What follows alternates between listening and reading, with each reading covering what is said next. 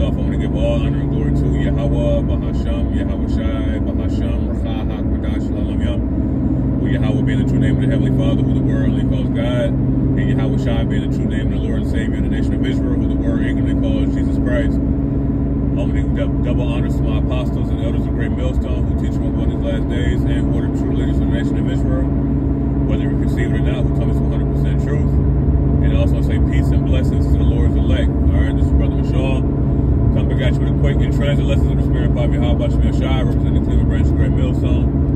I want to say to Wadi Yahweh Shai, forgive me, Spirit, through this lesson.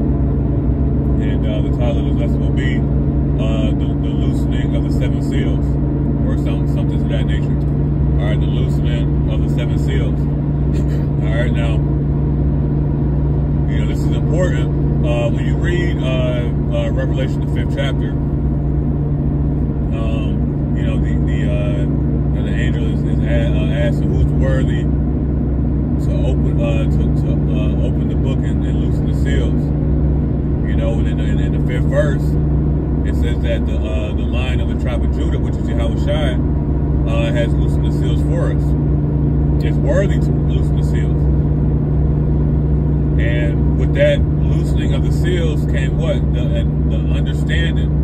Okay, because these seven seals are uh, were, were uh, holding the uh, know the understanding, the full understanding back. Okay, so with the death of Yahweh Shai, he was what? Able to send the comforter down. Uh, you know, you can read about that in John the 14th chapter. Uh, to send the comforter down. Okay? And he explains why in the 14th chapter. That he had to, that he had to die so that the comforter could be sent. Alright, this, this is all through the mercy of the Lord. So now with, with the death of Yahweh Shai and him loosening uh, the seals, now we have an understanding of, of what's going on. Now we have an understanding and we're, we're able to decipher what the prophets uh, were saying. Right? The dark sayings that they were, uh, uh, you know, um, uh, writing down. Right? The, um, the mysteries of the scriptures.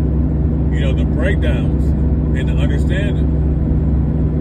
Those things came with, with the death of Yahweh Shai because he had to do certain things before uh, he could send uh, the, the, the, Spirit, the Holy Spirit down to his men to, to be able to uh, to receive the the, the full 100% uh, uh, understanding according to salvation. Okay, 100% knowledge.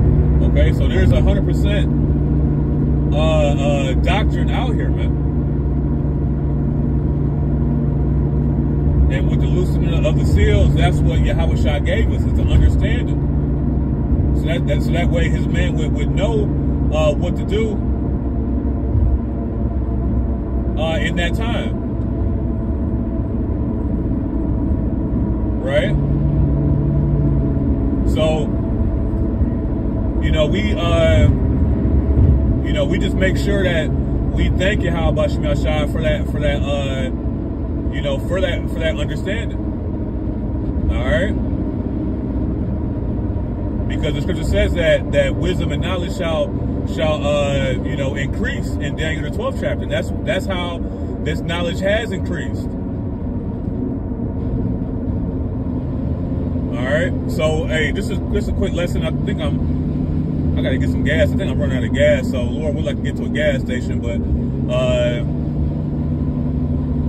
you know, and Lord this lesson was edifying. I want to give all honor, glory, and infinite worship to Yahweh, Bahasham, Yahweh Shai, Bahasham, Rachaha, Kodash, Lalam Young. Double honors to the apostles and elders in Great Millstone. I want to say Kwame Sharala, Mawak Ball, Shalom.